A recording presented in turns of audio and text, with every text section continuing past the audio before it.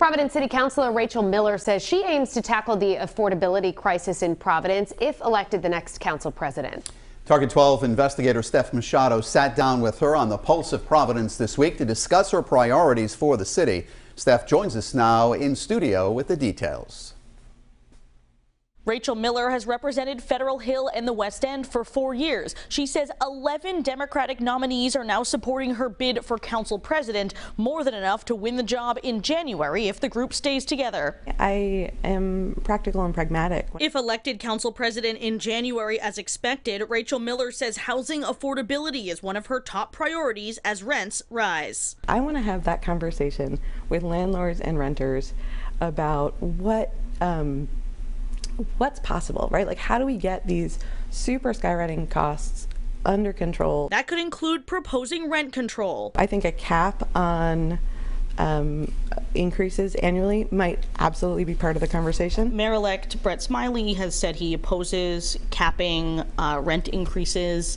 Have you two talked about that at all? do you think that's an issue where you might disagree? We didn't talk specifically about this proposal, and again, I think uh, getting into like the nitty gritty of potential proposals is kind of jumping the gun. One plan to build more housing is inside the vacant Superman building, slated to be turned into hundreds of apartments. State leaders have touted that 20% of the units will be considered affordable, but the developer recently disclosed the rents for those affordable units, mostly one bedrooms, will range from nearly $1,400 to $2,000 a month. What was your reaction to those rent prices when they came out? The rent prices were uh, high, right? I think everyone can agree and, and look at those prices and say, oh yeah, that is outside of the realm of affordability for most people in the city. Miller abstained from a recent council vote on tax breaks for the Superman development because it didn't include new reforms she helped usher in last year, but she says she's excited about the jobs and activity the project will bring to downtown. She is skeptical about the Providence Place Mall's recent request for 20 more years of tax breaks from the city,